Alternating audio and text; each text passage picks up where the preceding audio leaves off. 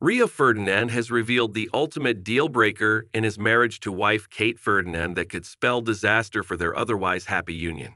The couple, who got together in 2016 and wed in an extravagant ceremony three years later, joyfully parent a blended brood including two young children of their own, Cree and Shae, plus Rio's three kids from his previous marriage to his late wife Rebecca Ellison. In a heartfelt chat on Abbey Clancy and Peter Crouch's podcast, The Therapy Crouch, which aired earlier this year, Rio opened up about what could jeopardize his relationship with Kate, and it concerns bathroom habits. The former Man United hero and current pundit confessed to a quirky habit that he follows while away on holidays. He opts not to use their hotel room toilet for his number twos, instead, preferring to wander about looking for a different loo, even if that means searching in the middle of the night.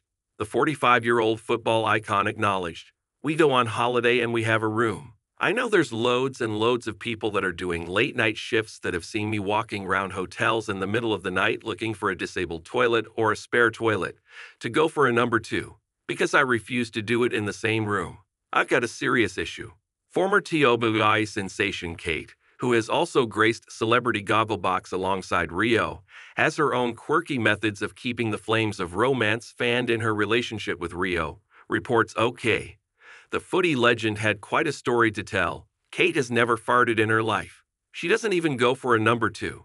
If she farted in front of me, I swear it could be over romantically.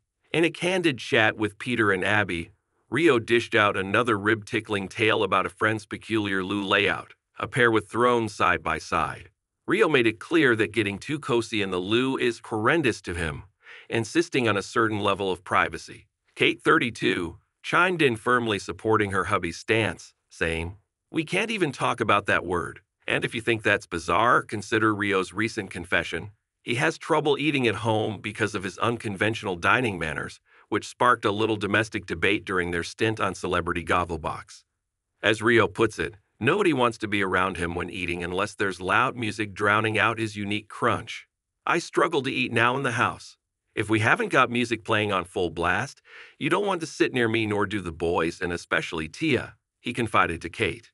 Kate quipped to Rio, Do you not think it might just be a you thing now then? It's not an us thing. Yet Rio countered by mentioning that throughout his life, no one has ever said anything about the way he eats. With a chuckle, Kate suggested, I think people are just being nice, as Rio jumped into defense mode. He stated, I've been around all my teammates for years in close proximity and no one has gone, oh my God, Rio is like the wildest eater. It's like a washing machine.